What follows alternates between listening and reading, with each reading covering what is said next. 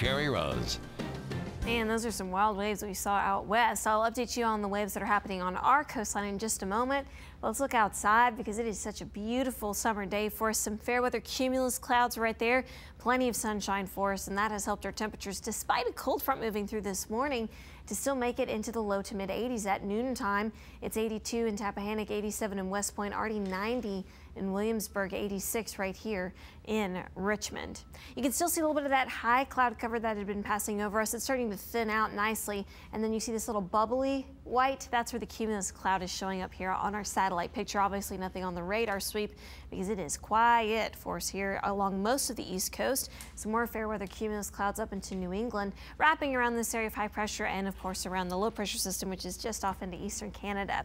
Well, there's a hurricane. It looks quite impressive. In fact, it is still holding its strength as a Category 1 storm offshore, but it is sending swells all the way to the mid-Atlantic coastline and up into New England. So this purple shade, that's where the roughest of the waves are, and they're running about five to six feet, even down at Virginia Beach, which has now been allowed to expire from this uh, alert, this advisory for the coastal regions.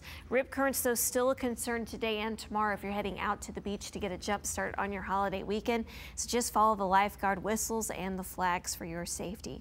As I mentioned, this is still a hurricane, still quite impressive on the satellite picture, and it is accelerating now very quickly off to the north and east. It will by this weekend lose its tropical characteristics, but it is still going to be, as you can see by the wind speeds, a very impressive what we call extratropical or beyond the tropics storm system. Really nasty stuff. You wouldn't want to be a boat trying to go through that part of the Atlantic Ocean with that system churning there this weekend. 86, that's where we are right now. It feels like it's 89 because of this. The dew point values, they are higher than they have been for most of this week.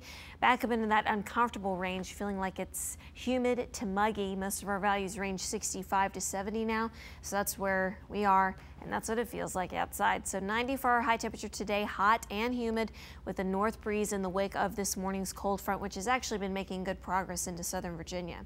This has been a dry front coming through, barely any cloud cover with it, and it's moisture starved. So I think it'll be really tough this evening to squeeze out even a few isolated showers or storms around Farmville to Petersburg and points south and west. The system looks like it's just going to wash out over North Carolina.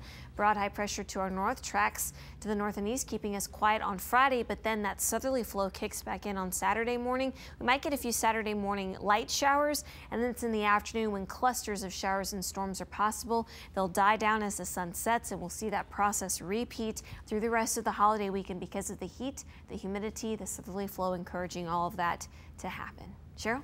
Thank you, Carrie.